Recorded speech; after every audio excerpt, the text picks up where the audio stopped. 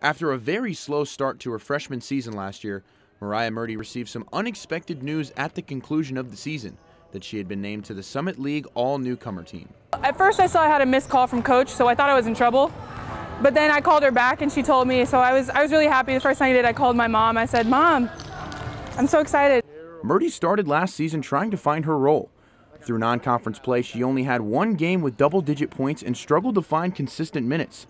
She would eventually find her stride, finishing the year with eight more double digit performances, including setting the D1 era record for the Mavs with 18 rebounds in a single game. Mariah is a unique player where you get to see gains from her from day to day. You know, some players it takes a couple months or maybe year to year, but she's so talented, she's so athletic, and she really has the desire to, to be really, really good. The Mavs struggled to get traction last season and they came up a game short of the conference tournament. But with the new faces getting comfortable and the veterans taking on their new role, head coach Brittany Lamb has high expectations for this season. I feel as confident and, and good about an off season as I had since my time here. Um, the additions we've had on the team have been um, what we've expected, what we've needed, and really elevated everybody. Murdy understands what it takes to build off of last year, and she's ready for the expectations in front of her.